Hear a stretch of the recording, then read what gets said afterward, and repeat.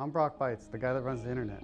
If you've been to Vegas and used Wi-Fi in a hotel, a casino, a restaurant, a bar, a gas station, you've probably used one of my networks. We are looking at our trouble tickets lately and 39% of our calls come from uh, Wi-Fi issues. Because when you look at it, all the chipsets in all the devices, from your phone to your iPad to your computer, they're the same chipsets. It's just what they put them in, the software and the hardware that they put them together with that makes anything different from one to another. In this video, we're going to go over how to optimize that and how to make it the best Wi-Fi experience.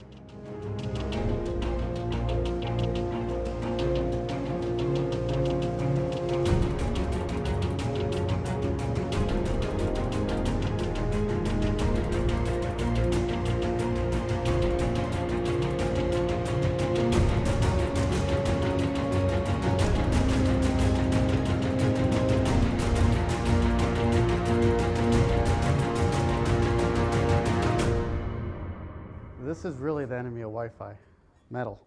Everything that hits metal, it just reflects. It doesn't penetrate, it doesn't do anything.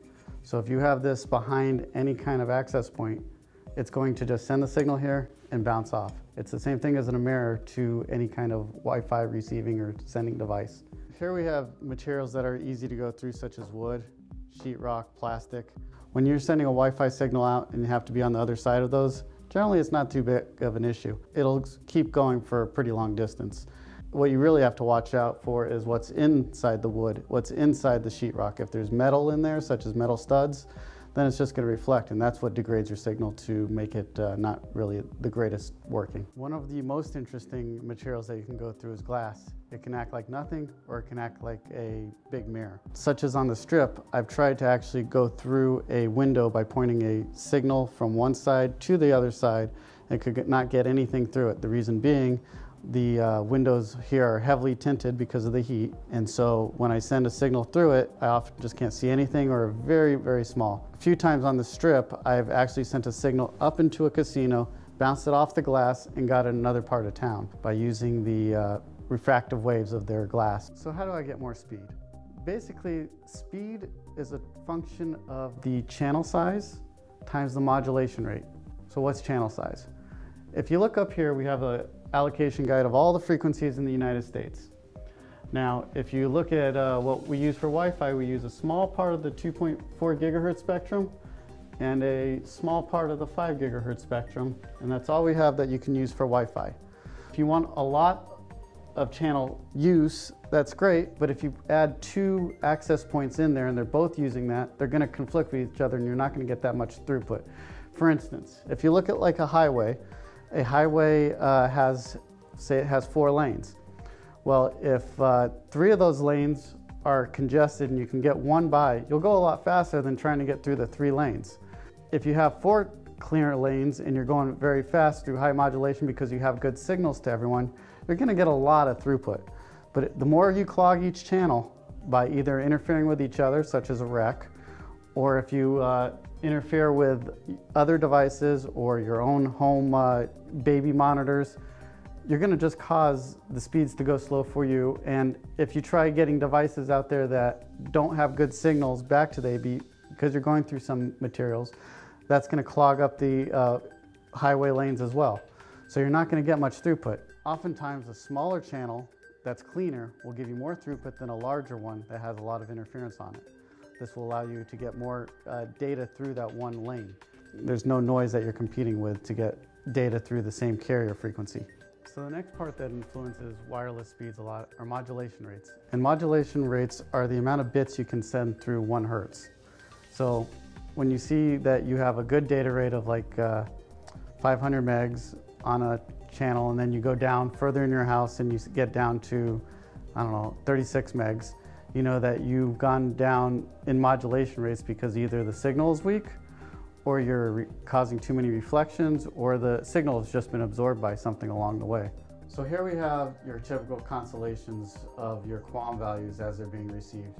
You can see you have, this is 8 times QAM, this is 16 QAM times QAM. This would be QAM 256 times uh, versus QAM uh, 64. So you have 16 times 16 or 8 times 8.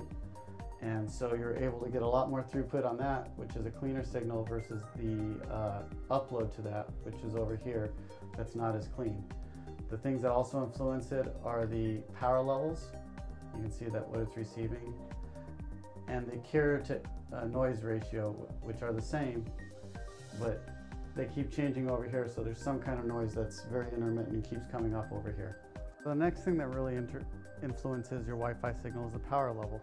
The power levels are a number in negative value between, uh, it's like 120, which is the worst signal you can get, down to about negative 40, which is about the strongest signal you can get. And for instance, a signal of about negative 60 is ideal. That means that you should be able to get all your QAM values as long as there's no noise. You, as long as you are receiving a clean signal, you should be able to get good modulation rates.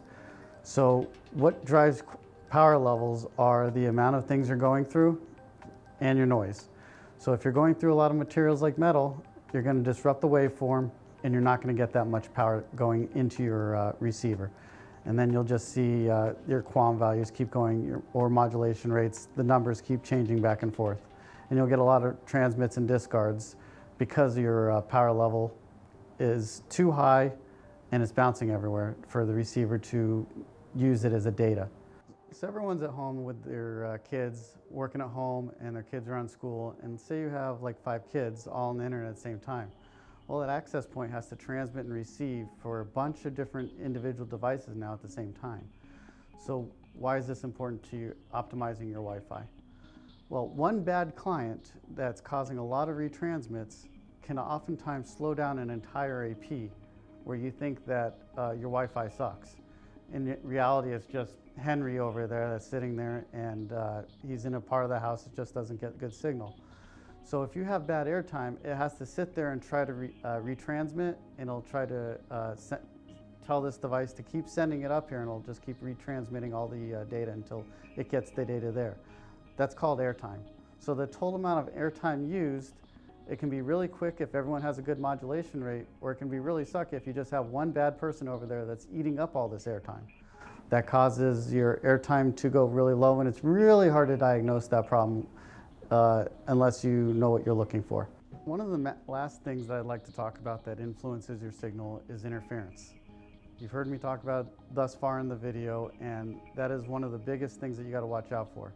If you're in an apartment complex and everyone's on the same frequency, you're not going to get good data rates because there's only so much channels that you can use.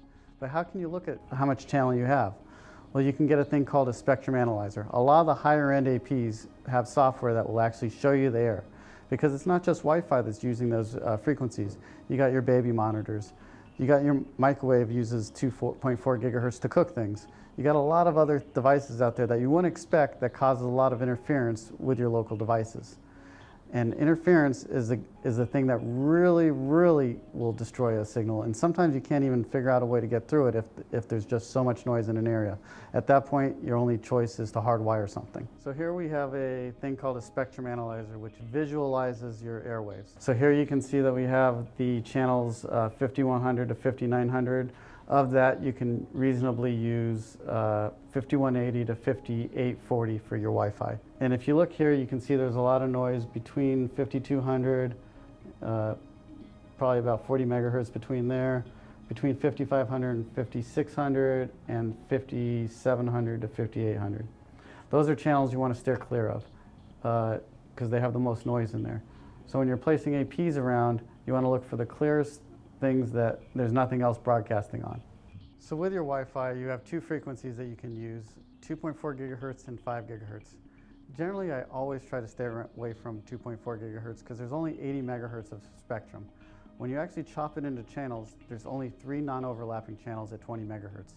And 20 megahertz is the largest size and the smallest size that you'd ever want to go. Uh, because nothing listens on less than that unless it's a proprietary thing and nothing, you're not going to have any frequency because everything broadcasts on that and the signals go a lot further than 5 gigahertz. So when you talk about uh, frequency, a 5 gigahertz wavelength is about 5 inches, about the size of a pine needle. So when you go through walls, the larger the wavelength, the more penetration you get. When you think of like TV waves, that works on 700 megahertz and you have meter size waves. That goes through just about everything. But when you uh, go down to 5 gigahertz, the waves are about half the size, 2.5 inches, and they will get reflected by a lot of things that 2.4 would penetrate. Now, with 2.4, when you only have channels 1, 6, and 11, if you're doing a big facility like a, a casino floor or something, it means that you're really only going to be able to put three access points without overlapping on yourself, which makes it really difficult to get any kind of throughput because the airtime is always going to be used from your interference. So we talked about all the things about Wi-Fi, but where do you actually place these things? If you ever go to a restaurant or anywhere, you'll notice that they're usually in the center of a ceiling, and that's for a good reason. Most access points are omnidirectional. If you look at antenna patterns, and when you look at that, uh, it's going to be like a sphere that comes out of radiation. So what happens when you put a, access point behind a TV? Well, you only get a little bit penetrating if you have uh, wooden studs because a TV is usually made of metal and just going to reflect and cause disruption in the waveform. Now, when you uh, are actually designing these things, you want to look all around and see all the materials that something's made of. So generally, if you put it on a wall, that'll go great through the wall, but if you have metal studs, it's not going to go, it's only going to be great for that one room. And you're going to reflect a good part of the signal. For instance, I have an access point here, and I put this in a trailer park. Well, one of my installers installed it like this.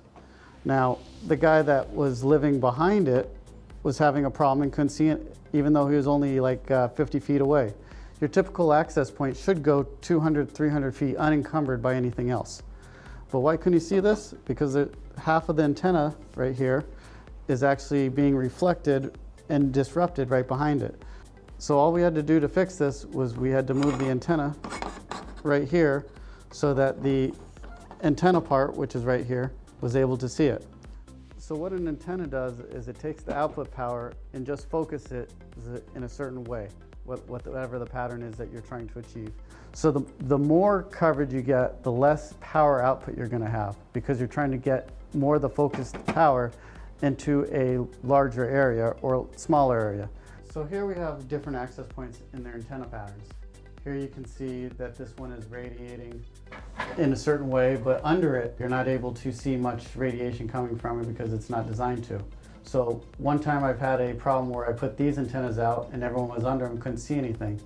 So all I did was I switched them to these ones and I'm able to see everything because it has a much wider band that it can actually radiate to.